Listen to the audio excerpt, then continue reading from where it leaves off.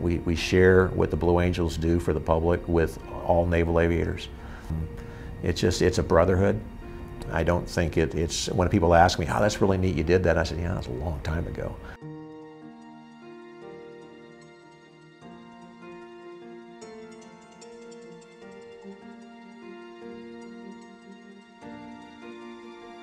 I had never flown in my life. I didn't know anything about flying. I was at the Naval Academy. In the June week, which was the graduation week, I was caught driving a car, which was against the rules, and so I was given the choice of being in, uh, in hack or restriction in Bancroft Hall during the whole uh, week, or coming back and giving up my 30-day uh, leave, leave in the summer. So I uh, chose to take the uh, seven days in hack in, in Bancroft Hall. And uh, I sat in the windows and watched the Blues fly uh, one of their last uh, two years in, in Phantoms. And I went, that looks really neat. And so I chose aviation based on, for four years, seeing the Blue Angels. I went to Saufley Field and was sick my first four or five flights and almost dropped out. And then finally, you know, finally made it through. I, I graduated flight school in uh, September, or actually December of 1976 and uh, was awarded A7s, A7 Corsairs at Cecil Field. Went through the RAG there, VA 174, and my first squadron was uh, V83, uh, the, the ramp, Rampagers, A7 squadron on the USS Forrestal. Made uh, two Mediterranean cruises, uh, was an LSO, um, and then uh, went from there to the VA, 1, VA 174 again as an instructor pilot and uh, that's where I was selected by the Blues. I, I didn't get picked up the first year, and um, I and the next year that I applied for the 1982 team, uh, they were only selecting one junior officer. It was a new boss and a new junior officer, and I said, "This isn't going to work. I'm not going to get picked up." And so I was actually leaving on a cross country.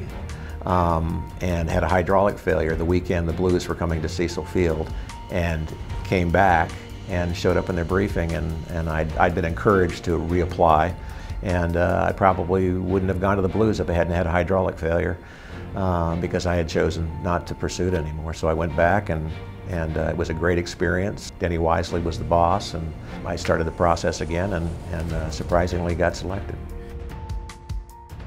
I was initially selected as the uh, narrator, number seven. You showed up at winter training in February and you started the narration. Of course, all along you're trying to memorize the narration on index cards and that was that didn't come naturally for me. I ended up loving it. I really enjoyed it. I got a little too enthusiastic and they told me about halfway through the season, you need to back off on the narration a little bit. You're scaring people. But then I did the media rides and I did a lot of the publicity rides and a lot of the celebrity rides. Uh, uh, Bob Hope's uh, 79th birthday, uh, that, was, that was obviously something very special. One of the things I'm most proud of is I took 80 people flying and I had one person get sick. And that, you know, I didn't think it was my job to go out there and, and make people sick. And that one person had had a big, huge breakfast. And but, the, you know, I thought you could teach, you could show them everything you needed to show them without making them sick. Um, so I was always very proud of that. The memories I take from that are all the people I met, the, the people at the local FBOs when we do. I love the civilian shows because he met all the people on the ground at the FBOs. And uh, I still have longtime friends that I still stay in touch with from, from Sheridan, Wyoming, and some of these little places that, you know, you'd have 10,000 people at the air show. That whole first year was a great experience. The next two years, of course, the best flying I ever did in my life. All through my first winter training as the left wingman, I went, am I really going to be able to do this? And I remember talking to my wife, Jan, and she's saying, this doesn't sound like it's going well. And that's pretty much what, how everybody feels in winter training. But it is, it is an incredible challenge to, to get over the, the uh, ability to realize you can do this. Uh, probably my fondest memory of flying left wing was uh, when the first time that the uh, solos would join up in Delta and uh, Jim Ross would he was I was in the left wing and the and the lead solo flew the left outpost so he was on my left wing. And I would always know when Jungle was there because he would come up and he, he wouldn't hit me but he would get really really close and I could feel him nudge me because you can really move the, the airplanes around as close as we flew. And so I would always knew and I would go give him a thumbs up. I knew he was there. Uh, 84 um, you know was finally where I really wanted to be was in the slot and uh, Hoss Pearson came in, and, um, and Chris Ives became the lead solo. The slot pilot uh, technically trains a new boss. And uh, the debriefs, uh, I remember the first debrief I sat through, it was, it, it was a, as, a, as an uh, applicant, you didn't sit through the debriefs. You were there for the briefs and then they excused you. The first debrief I sat through, um, we, we leave everything on the, on the uh, briefing room floor.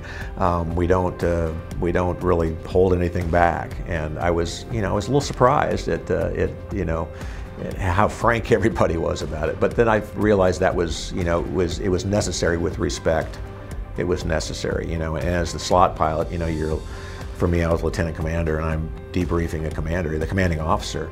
And um, you know, there'd be some frustration, and there'd be, you know, there would be people would get passionate at times. But I, you know, I hope, and I look back that I never took the step beyond the, of respect beyond that that little line he didn't cross. Um, you know, I would disagree with him, but you know, I was the one that had the bird's eye view back there.